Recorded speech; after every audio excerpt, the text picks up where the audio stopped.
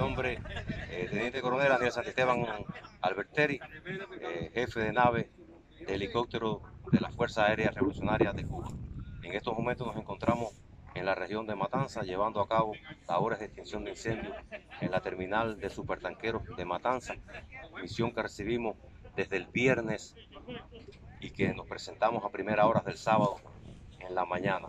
Comenzamos partir del sábado labores intensas en esta región en cooperación con las fuerzas del Ministerio Interior, fundamentalmente los bomberos y otras eh, fuerzas en la liquidación de las consecuencias.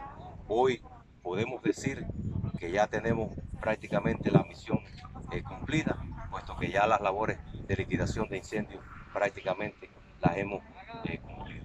Ahora vamos a realizar el despegue hasta la bahía de Matanzas para la recogida de agua y continuar llevando a cabo la extinción y liquidación de las consecuencias en la región de la base de tanqueros de Matanzas.